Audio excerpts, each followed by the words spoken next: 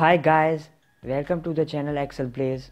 Before we start, this is my first video on YouTube guys, so please give this video a big thumbs up if you like this video and also don't forget to subscribe my channel if you guys want more videos like this and want to do some DIYs on embedded systems and IoT based projects.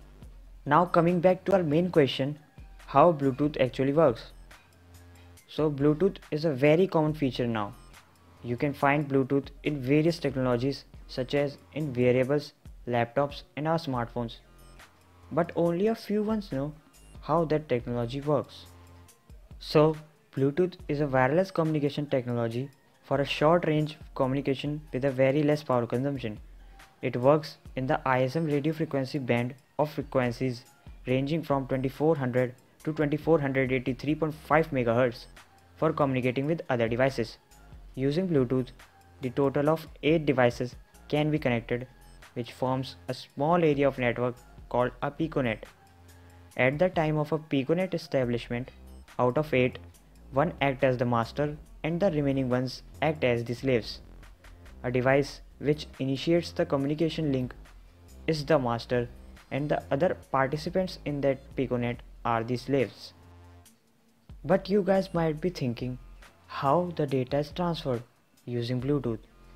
So here comes the method named FHSS method stands for frequency hopping spread spectrum method which is a radio technology used in Bluetooth.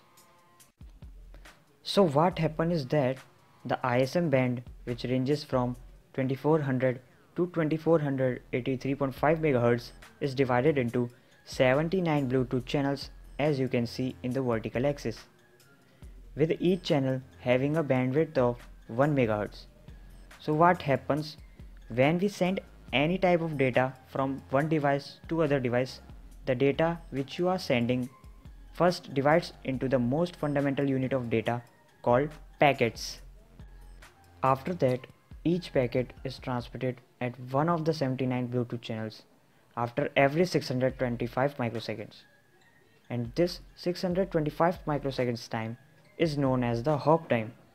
So as you can see at T1 the data is transferred from F2 channel, at T2 the data is transferred from F5 channel and so on.